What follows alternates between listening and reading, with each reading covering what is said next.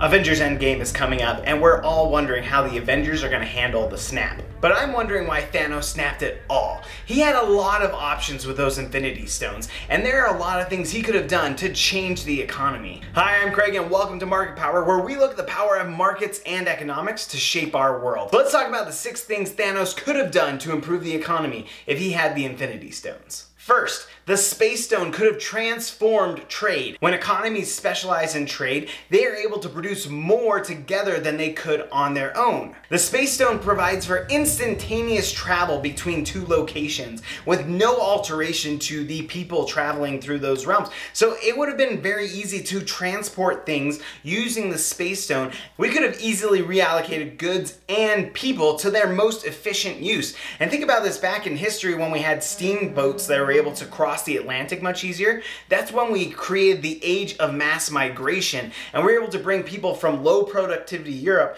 to very high productivity jobs here in the Americas. This is actually a way more efficient strategy than just snapping away half the population. Going across the board and cutting half of the population every single place in the universe is a very inefficient way to reallocate the population. What we should have done is taken people from low productivity areas and teleported them to high productivity areas and therefore increase the pie. Two, with the Mind Stone, they could have developed better artificial intelligence. Of course, artificial intelligence is actually one of the first applications of the Mind Stone that we see in Avengers Age of Ultron. Tony Stark and Bruce Banner use the Mind Stone to derive a new artificial intelligence algorithm, which of course becomes Ultron, a destructive robot. That's not the kind of thing that we want to create economic growth. What we want is more like what happens with the Vision, that actually is able to use the Mind Stone along with, uh, with Jarvis, another artificial intelligence algorithm, and create a good, beneficial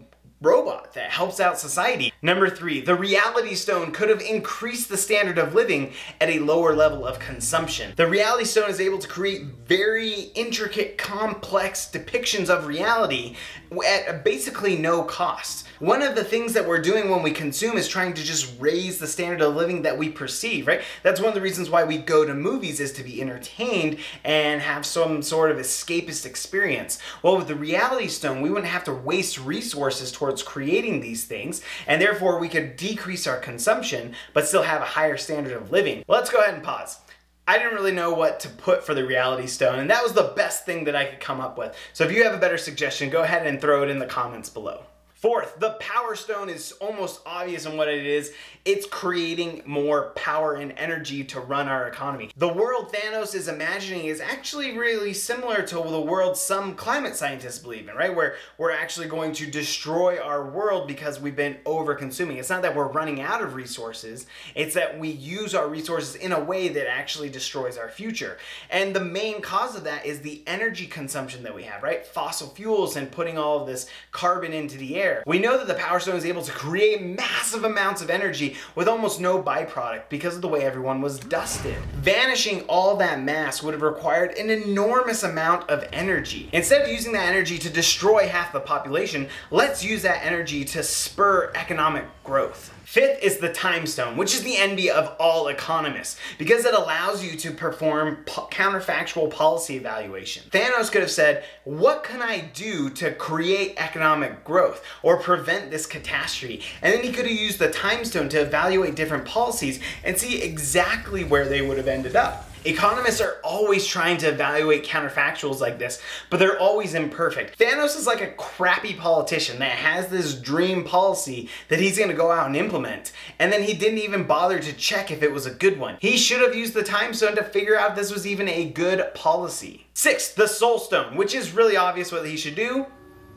actually I have no idea because we don't get much of an idea of what's in the soul stone. So if you have a good idea of how he could have used the soul stone to increase economic activity, go ahead and leave something in the comments below. In fact, if any of these stones you think could have been used differently to increase economic growth, tell me in the comments below. Be sure to subscribe and we'll see you next time on Market Power. Fifth, the time stone with